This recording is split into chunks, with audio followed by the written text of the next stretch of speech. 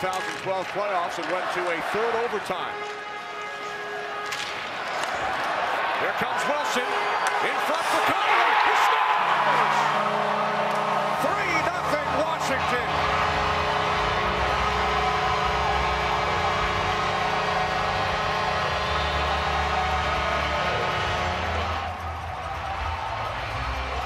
Well, Kevin Gravel gets banged up in this area. Now he gets shaken up. He's stunned. So he's trying to get to the bench, and all of a sudden there's a turnover. He leaves the ice, and now all of a sudden here comes an opportunity for the Capitals with a 2 on 0. Wilson, bad change by the Kings, and here comes Connolly. Eddie, what a play by Karl Alzner to force that turnover right in the neutral zone. That allowed Wilson and Connolly 2 on 0. It was a great read by Karl Alzner.